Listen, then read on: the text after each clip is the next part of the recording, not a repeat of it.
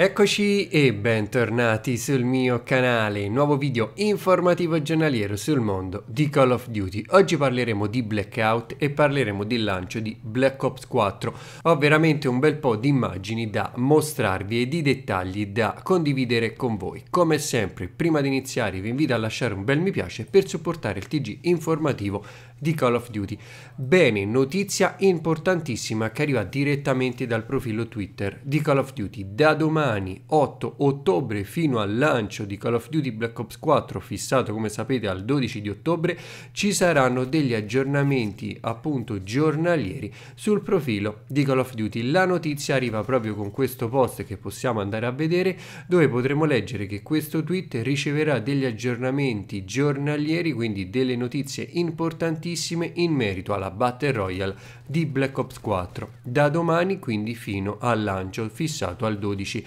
di ottobre. Quindi questa settimana scopriremo in 5 giorni nuovi contenuti e nuovi dettagli sulla Battle Royale, quindi rimanete sintonizzati perché da domani sera ci saranno tante novità e informazioni sulla modalità Blackout di Black Ops 4, chissà cosa ci deve svelare la Treyarch. Passiamo invece a parlare del lancio di Call of Duty Black Ops 4 perché come sapete venerdì sarà lanciato il gioco il 12 di ottobre e i negozi cominciano a prepararsi al lancio appunto di questo gioco. Come sapete la saga di Black Ops allo stato attuale è la serie più giocata e più attesa del momento. Andiamo a vedere ad esempio come si stanno preparando i negozi in America soprattutto la catena di Walmart. Vi mostro queste immagini che cominciano a trapelare in rete. Potremo vedere ovviamente la grafica tutto a tema di Black Ops 4, troveremo equipaggiamenti a tema di Black Ops 4 ad esempio in questa catena di Walmart negli Stati Uniti, è stato confermato come potrete vedere le nuove action figure di Call of Duty della catena McFarlane, potremo vedere la primissima immagine del Season Pass, allo stato attuale non sappiamo ancora quale sarà il prezzo ufficiale in Italia ma si vocifera intorno ai 50 euro, 49,99 vi farò sapere non appena ci saranno nuove informazioni